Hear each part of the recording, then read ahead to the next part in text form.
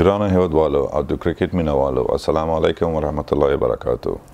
ساشکال شپږیزه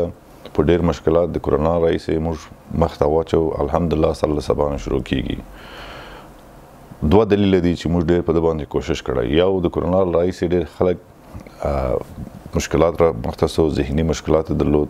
ترڅو وسی کولای د شپږیزه یو تفریحي برخه ورکې تاسو ته چې تاسو ذهن لګا را مسي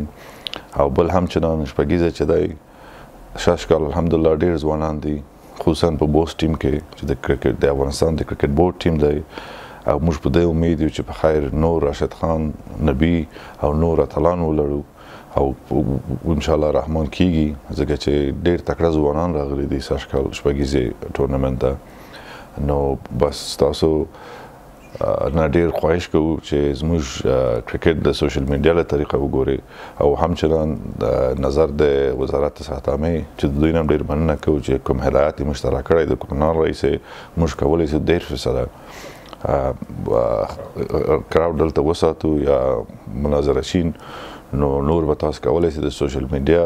له طریقې لایف دا وګورئ ستاسو مرسته ته موږ ډېر په تمه یو ډېر مننه تشکر